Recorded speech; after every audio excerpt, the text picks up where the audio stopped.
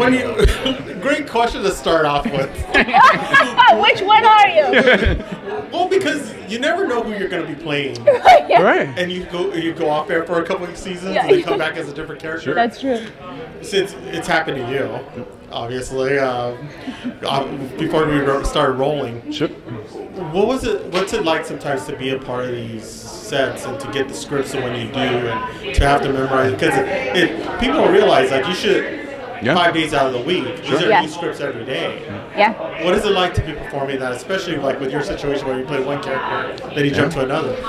Well, may, may I? May yeah, I I'll just say, uh, as you, because you, you, would, Linsey started doing this long before I ever did, right? You, you were, you were already like a soap pro, daytime pro, by the time I showed up, and I always thought I wouldn't be any good at it. And the one, I almost did it years and years and years ago to fill in and cover when um, one of the actors on days couldn't um, work for a week. And then luckily I didn't have to go in because I could not do. I couldn't learn the lines in time. I just they sent me the scripts and I pretended that I, I lied and said, "Yeah, I learned it. I'll, like, give me a call. I'll come in." And luckily, at the end of the week, they paid me the money, um, you know, to do a job that I actually did not do. And then luckily, years later, they brought me back to actually be on the show and called my bluff. And I realized that when you really, really have to do something, when your career, your livelihood, your self respect depends on it, then you can find a way. And over the weeks, months, and then years, like you just get more and more efficient at it to the point where you can be like Linsey, who literally absorbs, like osmotically absorbs the script, like as soon as she touches it. And I'm finally catching up to there. Um, yeah, it's the more you can relax and the more you can just be kind to yourself and, and, and understand it's a very difficult thing to memorize a huge amount of dialogue and regurgitate it very quickly with emotion and with clarity that people can understand. Like, as long as you're kind to yourself about it, you can do it. Yeah. And, you know, like, when you get to work with, like, some of your best friends and you trust that even if you make a mistake, they're not going to blame you for it, they're not going to get mad at you, they've got endless patience because they all know how difficult it is. So we all just take care of each other and get it done. Yeah. Yeah, I kind of agree. um, but yeah, I think in my experience too with actors that don't work in this genre and like well or known bigger Right. actors, anytime I've interacted with them, they're immediately like, is it really one take? Yeah. Do you really? How many episodes? 30 do you pages do? a day? What? You do two episodes in a day. Like it really is that thing, and you just get used to it. Yeah. I mean, I, I'm 11, almost 12 years in daytime now, and but um, yeah, I think you just get used to it. I always, my advice always when people come into it for the first time is like figure out what kind of learner you are. Are you a visual learner? Are you an audio learner? And do it immediately. Yeah. Find the most. Um, but yeah, it's also kind of a fun acting challenge. That's how I always look at it. I used to get mad and be like, I need more time. I need to, you know, I want to make it good.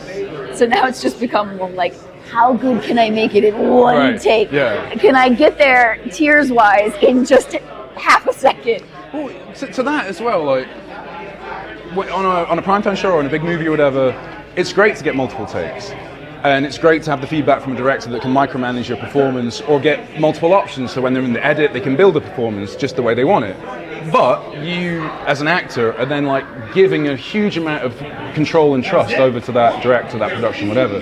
Whereas the one thing that is fantastic about getting one or two takes, like just going for it, is you have an enormous amount of like control over how your character is perceived. Yeah. And when they trust you, when the show trusts you to, to you know, swing, like Drake always says, swing for the fences. When the show trusts you to do that, it's the best feeling you can have. Is Yeah. like it's like it feels like we're doing big movies when we're on stage saying it. Like uh, I remember one of the actors uh, that used to be on the show. She said to me, like, it feels like Shakespeare when you're saying it. So it's like it's beau- it's a beautiful feeling. But when we describe what we do to friends that do like prime time or movies or whatever, it's like we're describing one of their anxiety dreams. Like, it's like a stress nightmare. Like the amount of time, the amount of Yes, material, really the turnaround, It's all of it. other are just like, uh, actor's no, nightmare. like you see them like breaking out in cold sweats. and, yeah, so So, talking about, I heard you say, how, how much can I get that tear to come out? Yeah. So, how close is this to professional wrestling at this point? I That's the comparison I always used to make. That was my big epiphany. Sorry, that was my big epiphany about working on daytime. Was that it was more like being in the WWE than it was like being on a, a normal scripted show that would like just had like seasons and felt like episodes. filmed theater to me. Yeah, but, but in terms of like how the career works as well, like the, Oh, the yeah. way you work, the, like working with the fans, ex, like embracing the fans, Yeah. working You can totally make storylines happen on a meta like- level, yeah, yeah like, if, through your if we- interactions. If we, play enough eye contact Like, with each other in scenes, they'd be like, "Wait a minute." Maybe they're not siblings. Maybe they're. you know what I mean? But it's true. Like it's that. They've had to unrel- unrelate people on this show before. They'd be like, "No, just kidding. You're not aunt and nephew." Yeah. Oops. Let's not dig into that. But also, like with with, um, with wrestling, it's like male melodrama, right? And it's about you know these.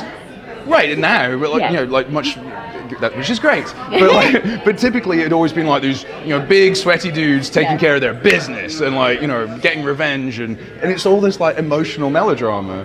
And so with us, it's the same except we don't fight, we all kiss. exactly. Well, I have one more question for you. It's about today, Days of Days. What does it feel like to be able to interact with the fans, especially with generations of fans? That is the best thing ever, and I always say this: like, I wish the one-on-one stuff with the fans was much longer than it is. Um, I love hearing every single story. I love every single. I watched this for 50 years. I watched it with my my mom. I watched this with my grandma. Um, like this is how we all bonded. Like I, I love hearing it so much. I love hearing where people came from. I love hearing like any sort of like little story they want to tell me. I want to hear every single thing. So it's just so much fun, and we don't really get to do press like this. Yeah. So it's just so much fun to like get people to get to talk to people about this thing that we do that we all love doing, but it is also kind of bizarre. Yeah. And so like when other people love the bizarre thing that we do, we're like, I feel like I'm in this club with all these like each fan. I'm like, you get it. Because you, you know actors are like. It doesn't take much to make actors complain. And um, It's you know, that like, thing where so how do you get an actor to complain? give them a job. You give them a Yeah. job. And so, like, you know, when we're all together, we tend to whinge. Or when we're with our families or whatever, we're not talking about the show because they don't watch it or they, you know, they don't care. But when when we're around the fans, we get to talk about the show in the way that you want to talk about the show, Yeah. which is with ensu- enthusiasm and joy and you know just celebration. Right. And so. It's hard not to be nice to nice people, and everybody's so nice at days like this. So Yeah. It's really special. Awesome. Well, thank you so much for stopping with me. I'm a Thank big you. fan of the show. Oh, Been thank you. since the 80s. Nice. Oh, Oh, thank you've you. been through some like stuff. Yeah, some serious stuff. stuff. Especially during my high school years. Oh, yeah, yeah, Looking yeah. forward to seeing more from the show. Oh, So are thank we- you so much.